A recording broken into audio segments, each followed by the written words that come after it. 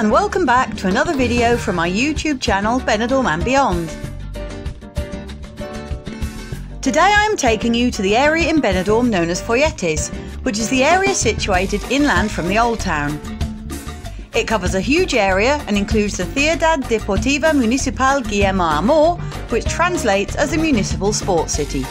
However, this area is not only used for sport, but for many other things too, as you will hear. Here at the entrance is the car park, and I do think that considering the amount of sports and events carried out here, the car park looks relatively small. However, there is an overflow parking area just across the road, which is much more extensive. As you can see here, the Pabellon Raoul Mesa or Raoul Mesa Pavilion. This space is used for training as well as hosting many of the indoor sports events for local teams, such as basketball, volleyball, etc., and attracts sponsorship from businesses in the town and neighbourhood, as you can see on the wall.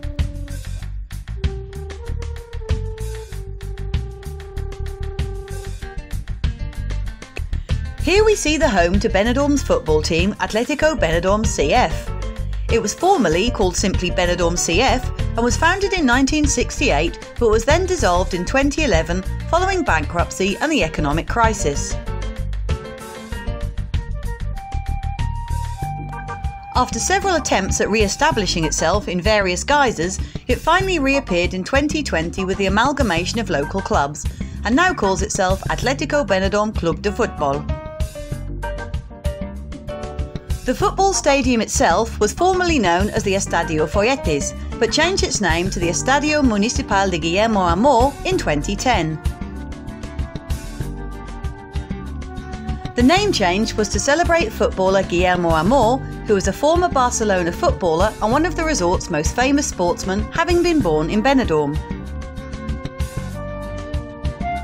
He won 37 caps for Spain and is still responsible for Barcelona's youth team setup. Interestingly, he finished his career playing for Livingston in Scotland but only actually participated in three matches. The stadium has a capacity of 9,000 over two banks of terracing, one large and one smaller on either side of the pitch. The more commonly used main stand, which is the larger one, hosts the club's facilities. Adjacent to the football stadium, which has real grass, is another football pitch with artificial grass. The area also boasts an eight lane Olympic sized swimming pool and a total of four tennis courts. It also has long and short fronton courts. And for those of you like me who have never heard of fronton, it is apparently a kind of handball game played against a wall. The Sports City also has an eight lane athletics running track, along with two pits for the long jump and one for the high jump. It also has facilities for other track and field throwing events, such as the javelin, discus, and the hammer. Away from athletics, you also find four volleyball courts, five-a-side football pitches, and a climbing wall. Just down from the main sports zone, you will find the Petanca pitches. Petanca is a Spanish ball game similar to the French game of boule and is hugely popular in the country as it can be practiced on any small amount of outside space or even wasteland. Many competitions are held in Spain throughout the year and competition is generally fierce. Leaving the sports area as you turn left is the large car parking area that holds the weekly Foietes outdoor market. This is a hugely popular market with the local community and sells all manner of different flowers, fruit and vegetables on the top tier of the market, whilst further down the stalls offer clothing, bric-a-brac, handbags and household items. It is held every Wednesday morning from 8am until 2pm, except if the Wednesday is a local holiday, in which case it is usually held on the Tuesday instead. It is full of bargains and well worth a visit. Also in the Foietes vicinity is the Health Specialist Centre found along Avenida Venezuela. If you pay your local GP a visit in Benidorm and your problem is serious enough that they think you may need an extra or more specialised diagnosis, then you will be referred to this building, simply known locally as Foietes. From here, they then decide if you can be treated by them over regular visits or need to be sent straight to hospital in nearby Villajoyosa. The centre offers many specialists for all sorts of ailments, along with a rehabilitation gym and x ray rooms.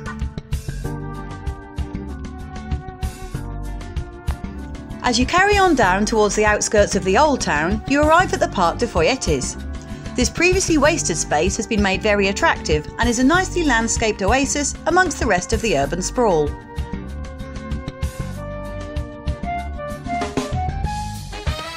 There are several children's play areas too, including slides, climbing frames, swings and ropes, and they've even left a small wooded area for when they need a bit of shade.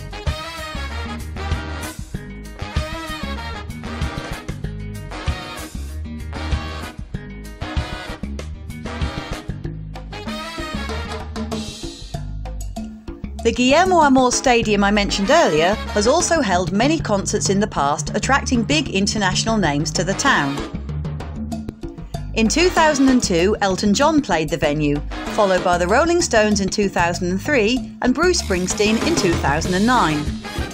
More recent musical offerings have included French DJ David Guetta and Latin singing legend Marc Anthony. The yearly indie rock festival called Low, which is spread over three days and nights, is also held here and attracts many thousands of young people to the town.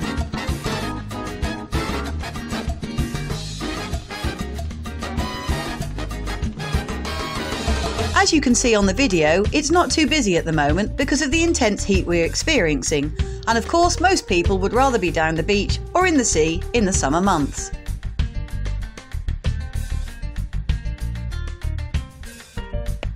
We are now at the bottom of the park, and ahead you can see some of the hotels that lie just off the main vein of the old town, Avenida Jaime Primero. These hotels include the Fiesta Park, the Rambler, and Hotel Carlos I, which are all situated upon Avenida Foietes. The council have installed exercise equipment for those who like to do their gym style workouts outdoors, and there are lots of benches dotted about to rest on in between, interspersed with avenues of trees and troughs of flowers. For those of you who have only just found my channel Benidorm and Beyond, I enjoy not only videoing the bustling resort of Benidorm, but also the beautiful local area, including the nearby villages and towns, which can mostly all be reached by local buses at very reasonable prices. So please check out my other content and drop me a line in the comments section if there is something that you would particularly like me to include. And don't forget to like this video by giving it a thumbs up and consider subscribing to the channel if you haven't already. I'll see you out and about next time. Cheers!